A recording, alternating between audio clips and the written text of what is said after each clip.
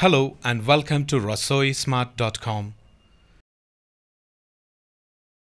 How to make Bombay style chili cheese toast. To make Bombay style chili cheese toast, you will need from the top clockwise butter, chopped capsicum, processed cheese, bread slices, chopped onion, chopped green chilies, mint or pudina chutney. Step 1. In a bowl, grate some processed cheese.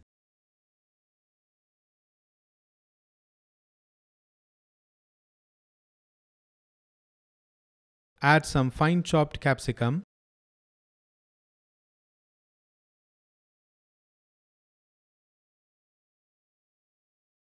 Add some fine chopped onion.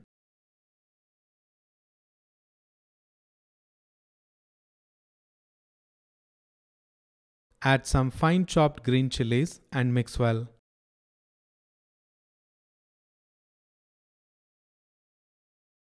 Step 2. Apply butter on bread slices.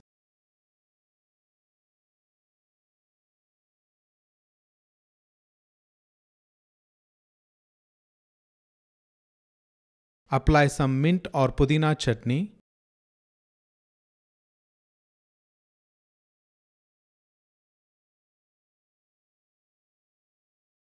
Add cheese mix on top of the bread slices and cover with another bread slice.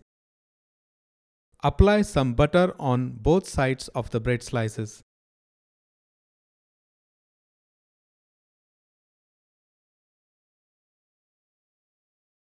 Step 3.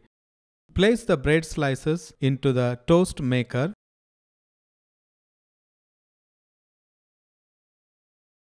Lock it and toast on slow flame as shown in the video.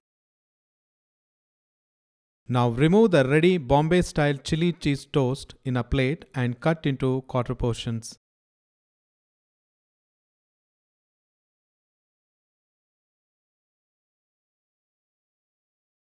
Delicious Bombay style chili cheese toast is ready to serve.